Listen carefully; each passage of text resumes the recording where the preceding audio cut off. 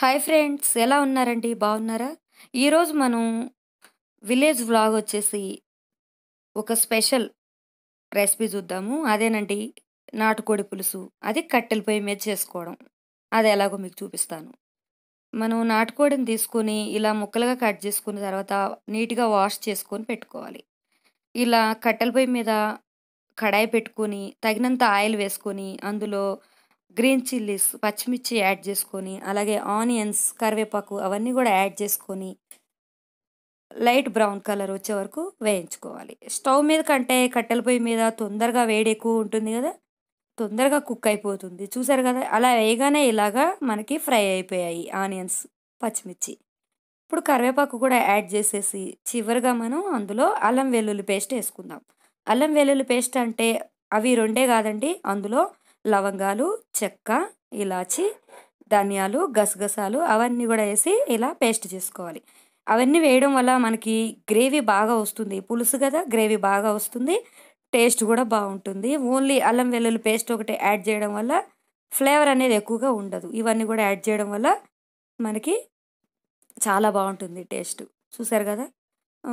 Onions వేగిన తర్వాత ఇప్పుడు ఇందులో మనం అల్లం వెల్లుల్లి పేస్ట్ యాడ్ చేసుకుందాం. ఇది కూడా ఒక వన్ మినిట్ వరకు మనం వేయించుకోవాలి. మనం గ్యాస్ మీద అంటే కొంచెం సిమ్లో పెట్టుకుంటాం. కానీ కట్టెల పొయ్యి మీద అలా ఉండదు. సిమ్లో పెట్టుకోవడం అది ఇది ఉండదు. కావాలంటే కొంచెం మంట తగ్గించుకోవాలి అనుకుంటే ఆ పుల్లలు కొంచెం యువతలకి లాక్కొని చేసుకోవచ్చు.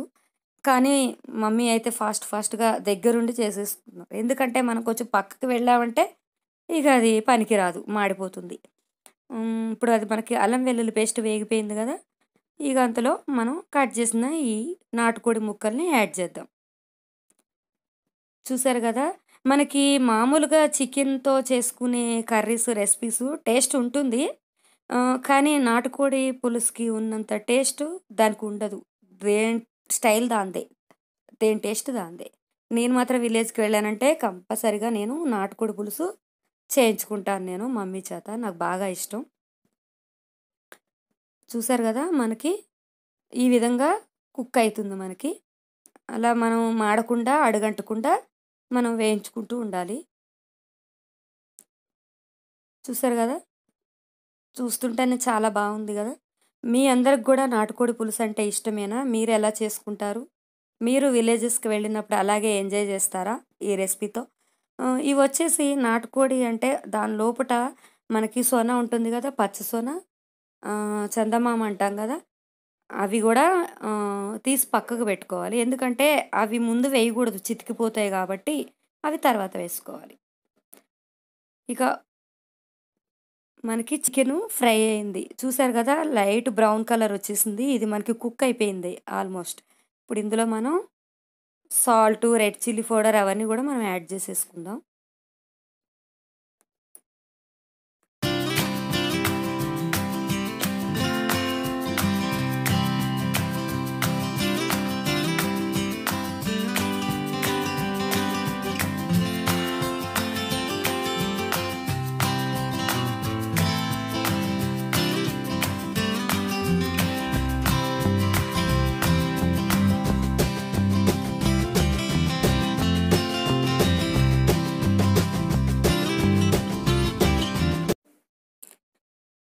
ఇంకా మీరు ఇంకా ఫ్లేవర్ ఇంకా బాగుండాలి అనుకుంటే అల్లంని వెల్లుల్లిని సపరేట్గా కొంచెం ఒక రెండు స్పూన్లు వచ్చేటట్టు మీరు చిన్న రోట్లో కనుక దంచుకొని వేసుకున్నారంటే ఇంకా ఫ్లేవర్ చాలా బాగుంటుంది.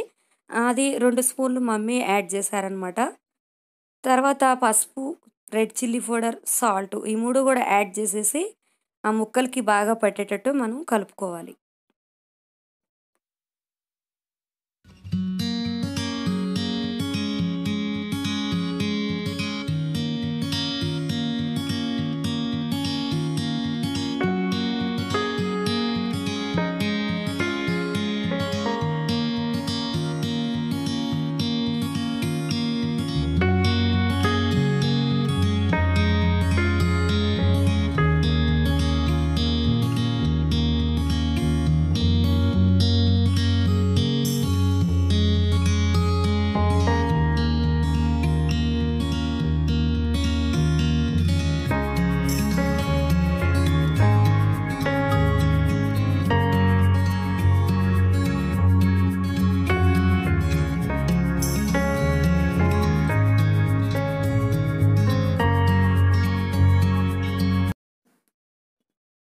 మనం ఒక ఫైవ్ మినిట్స్ అలా అడగంటకుండా గరిటెతోటి తిప్పుకున్న తర్వాత ఆ ఉప్పు, పసుపు, కారం అనేది ముక్కలకి బాగా పడుతుంది.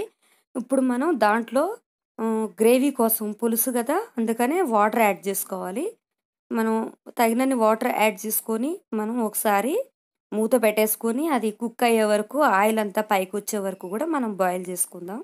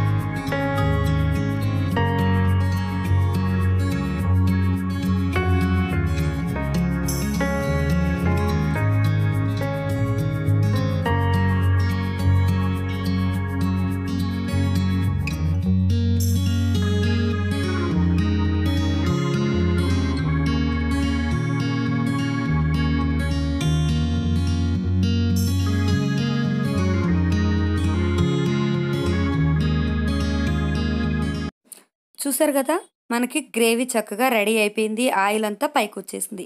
ఒకసారి ముక్క మనకు ఉడికిందా లేదా అని చెక్ చేసేసుకొని ఆ మంట అనేది తీసేయాలి. ఎందుకంటే మాడిపోతుంది. ఇప్పుడు ఆ వేడి ఉంటుంది కదా ఆ నిప్పులు ఉంటాయి కదా ఆ వేడి సరిపోతుంది ఇప్పుడు మనకి పొయ్యి మీద. చివరిగా పచ్చసొన్న పచ్చసొన ఉన్నాయి కదా చిన్న ఎగ్స్ అవి అందులో వేసేసేయాలి అవి చివరిగా యాడ్ చేయడం వల్ల అవి చితికిపోకుండా ఉంటాయి. ఇక చివరిగా గరం మసాలా యాడ్ చేసేసి, కొత్తిమీర వేసేసుకొని, వేడివేడిగా రైస్‌లోకి ఈ యమ్మీ యమ్మీగా ఉండే నాటుకోడి పులుసు వేసుకొని, సర్వ్ చేసుకొని ఎంజాయ్ చేయడమే. ఇదండి. మేమైతే ఈ విధంగా చేసుకుంటాము. మీరు ఎలా చేసుకుంటారనేది నా కామెంట్ సెక్షన్‌లో కామెంట్ చేయండి చూసారు కదా మనకి రెడీ అయిపోయింది. ఎంజాయ్ చేయడమే లాస్ట్. తర్వాత వచ్చేసి ఈవినింగ్‌కి నేను స్నాక్ చేస్తున్నానండి ఇది ఇన్‌స్టంట్‌గా అప్పటికప్పుడు అయిపోయేటట్టు ఈజీగా ఉండే స్నాక్. రెడీగా మనకి ఇప్పుడు ప్యాకింగ్‌లో కార్న్‌ఫ్లేక్స్ దొరుకుతున్నాయి కదా వేయించి పెట్టిన కార్న్‌ఫ్లేక్స్. అవి కనుక మేము మనం తెచ్చుకున్నట్లయితే పిల్లలు అడగగానే ఈజీగా చేసేయొచ్చు. ఫైవ్ మినిట్స్‌లో అయిపోతుంది. ఆనియన్స్‌ని సన్నగా కట్ చేసుకొని ఒక నిమ్మ చెక్కని పెట్టుకొని, ఇప్పుడు చిల్లీ పౌడర్, సాల్ట్ కూడా రెడీగా పెట్టుకొని, ఒక బౌల్‌లో అవన్నీ వేసుకొని మిక్స్ చేసేసుకుందాం. ఇది ఈజీగా అయిపోతుంది. ఒకవేళ స్వీట్ ఇష్టపడని వాళ్ళు, హాట్ తినేవాళ్ళు ఈ విధంగా మనం కాన్ఫ్లెక్స్ కానివ్వండి బూందీ కానివ్వండి మనకి ఇంట్లో రెడీగా ఉంటే, ఈవినింగ్ కొంచెం ఇలా మనం రెడీ చేసేసుకొని పిల్లలకి ఇవ్వచ్చు మనం కూడా పిల్లలతో పాటుగా మనం కూడా ఎంజాయ్ చేసుకుంటూ తినొచ్చు. ఇలాగా కాన్ఫ్లెక్స్ ఒక బౌల్‌లో వేసేసుకొని తగినంత రెడ్ చిల్లీ పౌడర్, కొంచెం సాల్ట్ యాడ్ చేసేసుకొని కలుపుకోవాలి. తర్వాత ఉల్లిపాయ ముక్కలు వేసేసుకొని నిమ్మరసం పిండుకుంటే మనకి రెడీ అయిపోతుంది. ఈ విధంగా మనం ఈజీగా పిల్లలు స్కూల్ నుంచి రాగానే, కాలేజీ నుంచి వచ్చేసినా కానీ పెద్ద పిల్లలైనా, చిన్నపిల్లలైనా దీన్ని లైక్ చేసే వాళ్ళు ఉంటే ఇలా ఈ విధంగా ప్రిపేర్ చేసి ఇవ్వచ్చు ఇది తినేసి చక్కగా ఒక కప్పు కాఫీ కానీ వేడి వేడిగా ఒక కప్పు టీ కానీ తాగేసి ఈవినింగ్ స్నాక్‌కి ఎంజాయ్ చేసేయచ్చు. మీరు కూడా ఇలాగ ఈజీగా చేసేయచ్చు. ఫైవ్ మినిట్స్‌లో అయిపోతుంది. కొత్తగా నా ఛానల్‌ని చూసేవారు ప్లీజ్ సబ్స్క్రైబ్ చేసుకోండి. పక్కనే ఉన్న బెల్ ఐకాన్‌ని ప్రెస్ చేశారంటే, నా వీడియోస్ అన్నీ మీకు నోటిఫికేషన్స్ వస్తాయి. ఫ్రెండ్స్ ఈ వీడియోని మీ ఫ్రెండ్స్‌కి, మీ రిలేటివ్స్‌కి షేర్ చేయండి. ఓకేనా ఫ్రెండ్స్?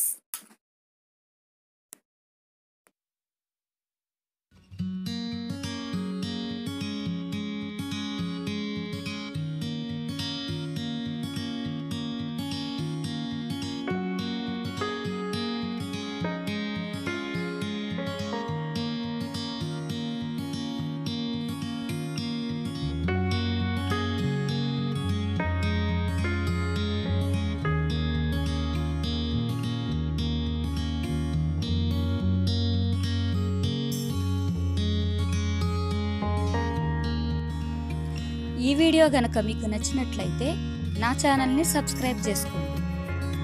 పక్కనే ఉన్న బెల్ బటన్ని ప్రెస్ చేశారంటే నా వీడియోస్ అన్నీ మీకు నోటిఫికేషన్స్ వస్తాయి. Thanks for watching video.